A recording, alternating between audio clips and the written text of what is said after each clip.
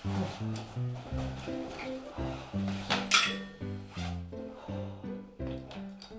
my god, it's cold. Ah. Ah. What is that? What are you wearing? Oh, these? These are long johns. Long John?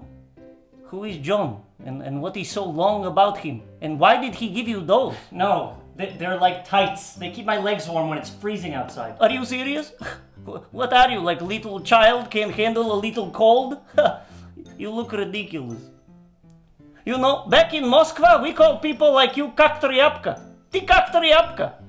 You are weak man. Weak, weak man. Long John. Holy Pamela Anderson 60! It is freezing cold outside! I cannot feel my Vladimir and his generals! I told you it was cold. Wait, did you just call your. Yes! It is terrible cold! It really gets inside your bones! So, what was that word in Russian that you called me? Uh, I, I, I am not good translation. Uh huh. So can you call your friend John with the long pecker to give me some tide? it is freezing. I'm scared to go back outside.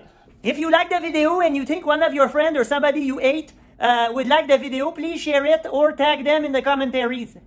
Merci.